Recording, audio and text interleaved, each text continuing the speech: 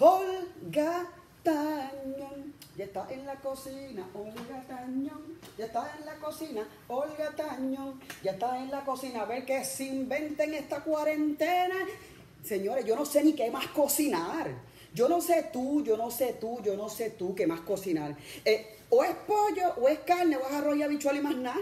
Pero hoy yo estoy inventando, yo estoy inventando hoy en mi cocina una pechuga de pollo, pero la estoy haciendo en salsa porque a mis hijos les gusta comer con el caldito.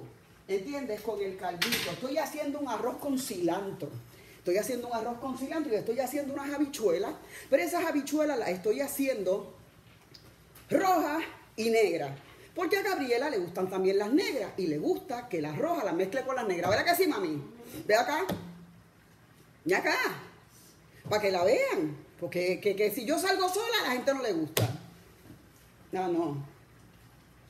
Olga y Gaby están en la cocina. Olga y Gaby. Ay, Dios mío, está mirando el moño. ¿Qué tú estás comiendo? ¿Qué fue ese? Pie crust. Un pie cross. Mira, vamos a bailar. Mira para acá. Olga y Gaby están en la cocina. Olga y Gaby están en la cocina. Olga y Gaby están en la cocina. Tan, tan, tan, tan, tan. Tan. Y estamos haciendo un arroz con cilantro, señores. Entonces estamos haciendo unas habichuelas también, como les dije. Y les digo, cada día se consiguen menos las cosas. Donde quiera cada día menos se consiguen las cosas y es un problema. Así que, ¿qué vamos a hacer cuando las cosas no aparezcan? Pues mira, vamos a reinventarnos. Si aparece por lo menos arroz, ven acá para que te vean. Si aparece arroz, pues mira, se hace arroz con todo. Se hace arroz con todo, pero lo importante es no. mi- mi- Miren los pelos de mis hijos. Miren los pelos de mis hijos. Gracias. Muchas gracias. Buenas tardes. Entonces, hay que hacer arroz con todo. No boten el arroz. Cuando ustedes hagan arroz en un día, miren, píquenle un poquito de, de- de jamón, píquenle un poquito de cebolla y hagan un arroz chino de eso, aunque no sea chino, aunque sea puertorriqueño, peruano, venezolano, dominicano, puertorriqueño, como les dé la gana. Pero en Puerto Rico siempre hemos hecho arroz con todo. Hagas un arroz con todo. Yo les voy a enseñar aquí lo que yo tengo a continuación, que es un arroz con cilantro, unas habichuelitas. Miren, voy a traer esto para que ustedes vean. Chequeen esto, miren. Chequense esto. Miren esto. Este es el arroz. Miren, el arroz con cilantro. Aquí tengo las pechuguitas que las tengo que virar con salsa roja. Y aquí tengo, miren, también tengo aquí los frijoles, chequense. Los frijoles son negros y son rojos. Pero miren, el arroz con cilantro va a quedar hoy efervescente. ¿Qué voy a hacer con estas papitas que ayer horneé?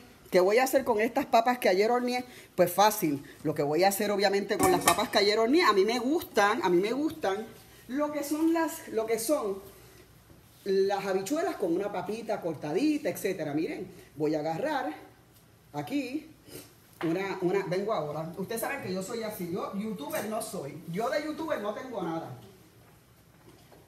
Entonces, miren, van a agarrar. ¿Dónde está la cosa de esto? Ay, madre de Cristo. Miren. Aquí está tapado porque ya yo había. Ok. Van a agarrar estas, eh, estas papitas que ayer no se usaron, porque yo lo guardo todo, como les dije. Ya tienen el arroz chino. Ustedes invéntense el arroz chino, un poquito de salsa soya y se acabó.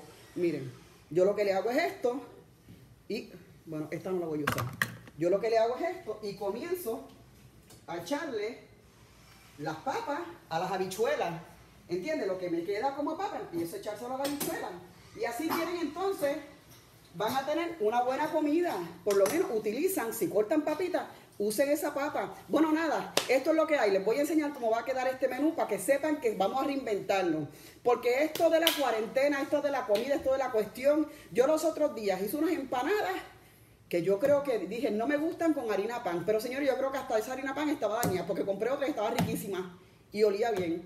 La hice y era que la harina estaba mala. Ay, señores, esta cuarentena vuelve loco a cualquiera. Métanse a hacer yoga o lo que les dé la gana.